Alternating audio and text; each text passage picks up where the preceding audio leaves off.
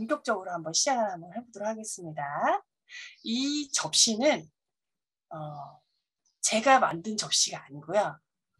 선악을 구별하는 대대로부터 파리의 진짜 박물관에 존재하는 선악을 구별하는 접시라고 대대로 유산처럼 내려오는 레전드 접시예요. 자, 여기서 혹시 뭐가 먼저 보이시나요? 박쥐요. 아, 네. 제 얘기 아닙니다. 지금 이제 오해하지 말고 들으세요. 이 접시가 하는 얘기예요. 이 박, 그래도 명확하게 지금 박쥐라고 하셨네요. 어떤 분들은 마귀, 막 마귀 막 이러는데 박쥐라고 하셨는데 검정색이 먼저 눈에 보이셨어요. 그런데 옆에 잘 보이시면 흰색이 있어요. 네. 네. 잘 보면 뭐, 뭐처럼 보이세요? 어, 천사.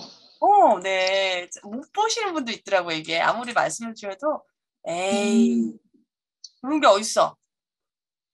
이제 그렇게 얘기를 하시는 분도 계시는데, 여기 잘 보면 여기 이렇게, 네, 천사가 이렇게 있죠. 네. 음, 네. 자, 그래서 이 예- 접시가 하는 얘기입니다. 제가 하는 게 아니고요.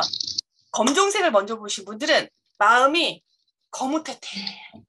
이 먼저 그리고 이 천사보다 깨끗한 마음을 가진 사람이 본다라고 하는데 이제 그런 이제 우- 의미보다도 이게 이제 그 좌뇌 우뇌형 검사할 때 하는 진단지하고 비슷하거든요.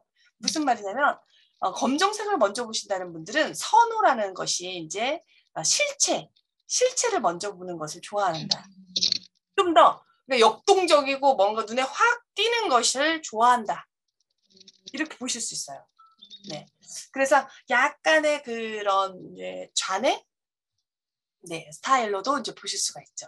네, 이 옆에 이제 이렇게 이렇게 배경을 본다. 이런 것도 거의 제가 보면은 한 20% 정도밖에 안 되거든요. 음, 그래서 아, 사람마다 정말 다 다르구나라는 것을 이제 느껴지셨는데